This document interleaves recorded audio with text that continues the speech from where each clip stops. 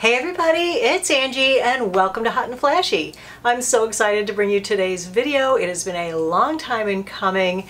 We are going to talk about my experience getting Ultherapy for my neck, jaw, and chin a little sagging going on under there. So for those of you who have been waiting for this, thanks for your patience. I got this procedure done back in April. You know how I love doing these anti-aging procedures or testing anti-aging gadgets and giving you the results because that's what we are all about here on Hot and Flashy. My channel is specifically for women in their hot flash years like I am who are curious about different ways to turn back the hands of time. That's what I focus on here. If you are interested in those things and sharing information with people who are in your age group, then you're in the right place. And I hope that you will subscribe to my channel and hit the notification bell so that you will get notified when I post a video. So today we're here to talk about Ultherapy. It's considered one of these like no downtime, lunchtime, non-invasive procedures that you can go and get it done. No one will know that you had it, and then the results appear gradually over time. Ultherapy uses high intensity focused ultrasound to heat the deeper layers of the skin where collagen is formed that then causes your body to produce more collagen and so it's FDA cleared for lifting and firming the skin of the lower face, the jaw, the chin, and the neck as well as the brow. It's also FDA cleared for improving fine lines and wrinkles on the chest. So um, some of you who've written in so kindly to me and who knew I had had Ultherapy was like, I don't understand why you had it. You have no wrinkles, you have no sagging. But au contraire, Pierre, yes, I really do have sagging on my jawline, um, you know, at my, underneath my chin. You know, it's not major, but it is there. You guys don't see it that often because, of course, you know, my little YouTube secret is that I shoot myself from a flattering angle. I mean, can you blame me? But when I am looking at my devices like my phone or my iPad, my camera comes on and I see what's reflected back at me from under there, I am like, ah, fairly um, horrified and scared at the amount of wrinkled skin, sagging skin. I actually saw Kathie Lee Gifford get it done on, I think it was the Today Show, and her results were amazing. And that was really the one that I saw that made me really think that this was going to be great and want to do it. And so I was talking about it in a video that I put out last January and you know, one of the nice parts about being a YouTuber is that you never know who's out there listening. And so uh, someone from the PR firm that handles Ultherapy was, and they got in touch with me and they asked me if I would be interested in having the treatment done and that they would pay for it. So I said, well, you know, I kind of am, but I said basically, you know, what my channel is about is, is, you know, going behind the curtain and showing the truth of what at least this did for me this time. And they were like, absolutely fine. We don't, you know, have any talking points for you. We would just like to cover the cost. You go have it done and then you do your thing for your viewers. So I was like, all right, that's cool. Um, so we went ahead and did it. But I was able to pick the doctor's office that I wanted to go and have it done at. I ended up just having one area done. So basically the way that they do it is they kind of divide your face up into areas and charge you accordingly. So the one area that I had done would normally be $900 if I had had paid for it. If I had wanted to get an additional area, it would have been 2200 So if I wanted to add on like this part of my face or the lower part of my neck, then it would have been 2200 not additional, but total.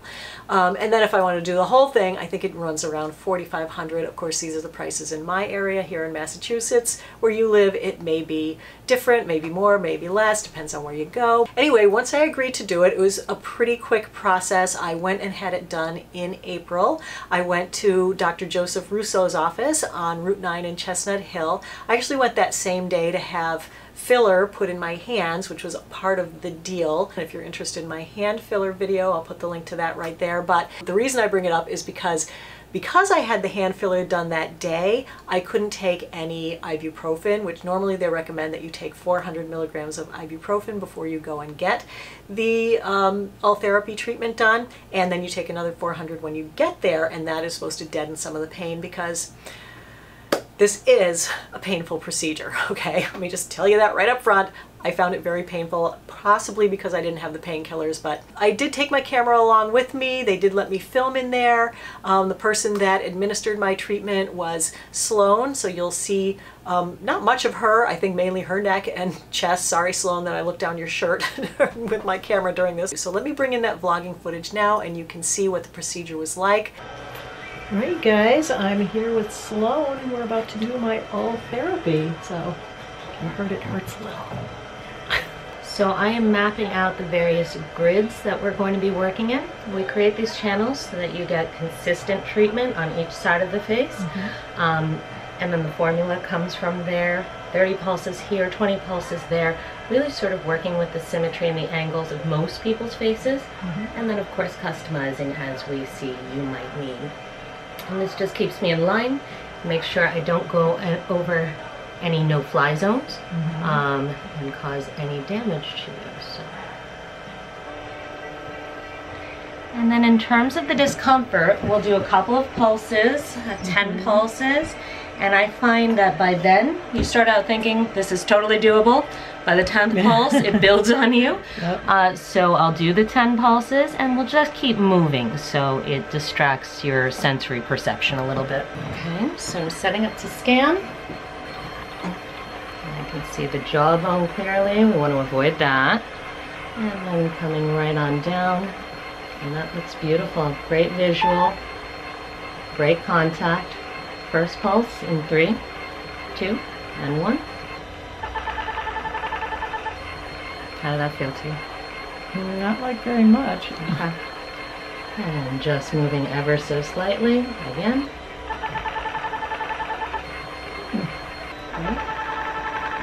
Two more. Okay, that's not bad. It's, you know, what? not as bad as I thought it was going to be. I suppose it's going to build up towards the end, right? Yep. You can feel it much more over there. Mm -hmm.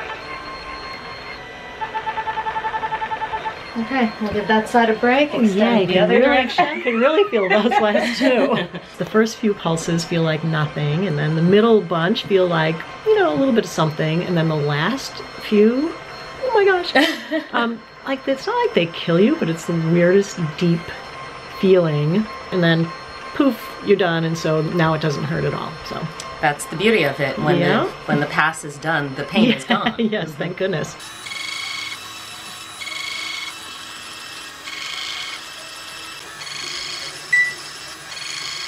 This really does hurt. Oh my gosh, by the time she was doing the final passes with the first transducer head, I couldn't take it. I felt like I was gonna jump out of my skin. Um, now that it's over though, it doesn't hurt at all. My neck. I think it's, you know, you can see there's a lot of redness there. I think I'm gonna ice it. This is where it really hurt the most, right in there. Like this guy was okay, but these guys, when she was doing like the last um, 10 or 15 passes when she had 25 more to go there. I was like, oh my God, I can't take it. You know, I thought, okay, well, let's finish up the 25. That was only a third of the treatment. So she uses, they use three transducer heads, and this one was the deepest one.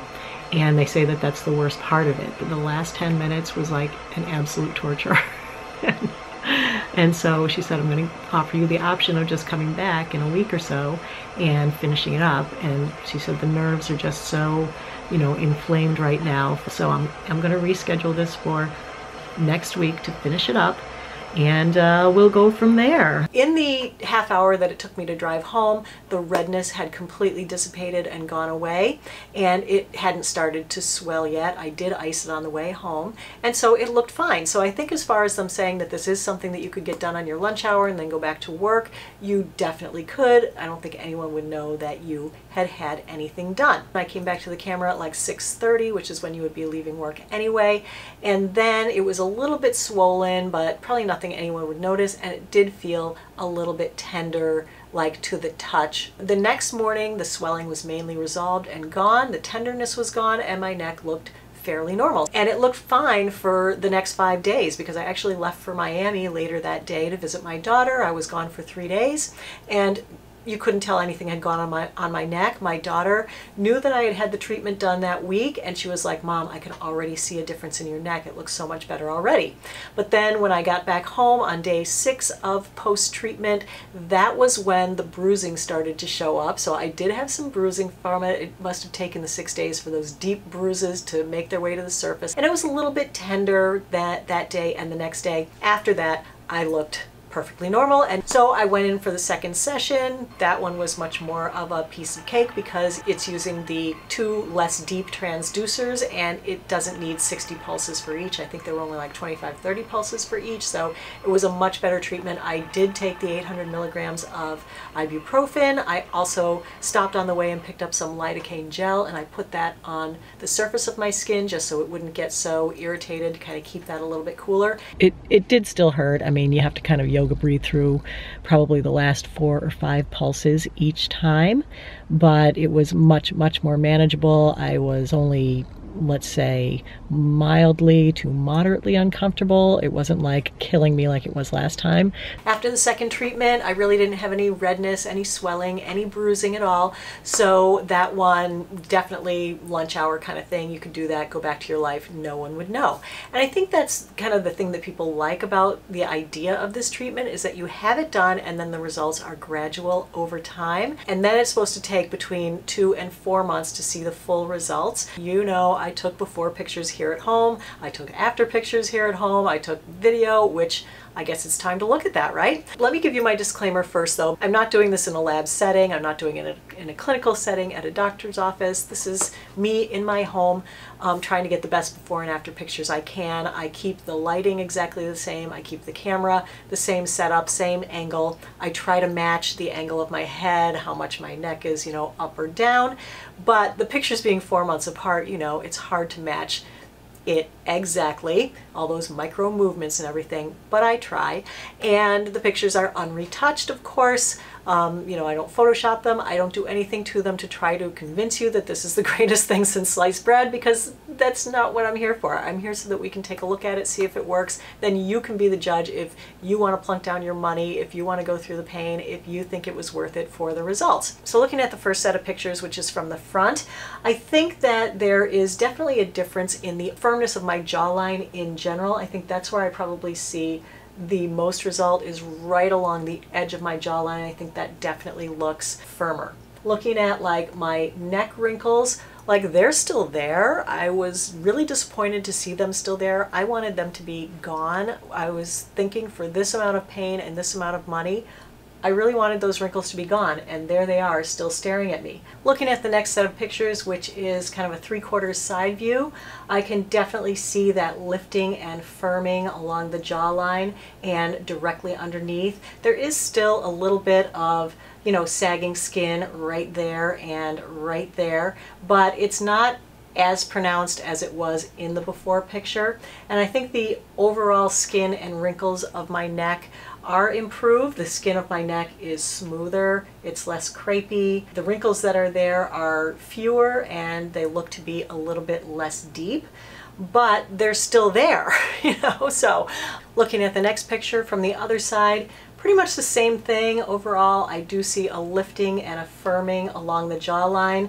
Is my jaw perfectly straight with no sagging now? No, it's not. I still do see that there's a little bit of sagging um, but it's definitely improved the skin underneath my jaw.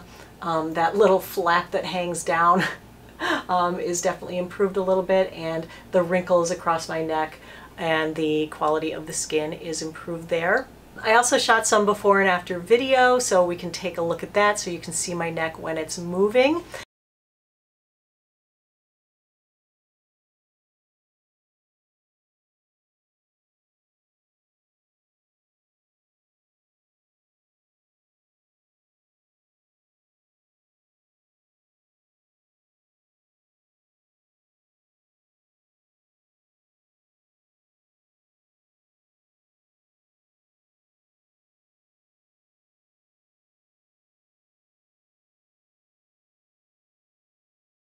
All right, so what do you guys think? I'm always really interested in what you guys think about it, but what I think about it is that there is definitely a difference that you can see. My jawline is a little bit improved. The sagging skin under my chin is a little bit improved, but I wish that I wasn't saying those words little bit in front of improved because what I really want is a lot, a lot of improvement. I want Kathie Lee Gifford's results and I didn't get those. When I went back to take the after pictures at the office, what she did say is probably if I had had this part of my face done as well, that then this all would have come out better because I would have had all that new collagen forming up here and it would have firmed and like lifted from here so I would have gotten a better jawline lift you know, I don't know. I can't say because I didn't have it done, but it, you know, we did talk about me coming back and having it done and seeing if that did help with that. So, I mean, I'm kind of on the fence. I'm like, hmm, should I go back and have that part done? Maybe if it's going to help with that. And we'll see. If I do, of course, there will be a video on that as well, and we'll see if it does give me better results.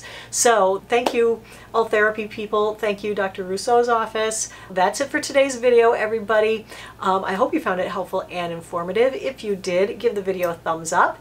And so thank you so much for watching. You know, I always appreciate your time. And so have a great day and I will see you in the next video. Take care, everybody. Bye-bye.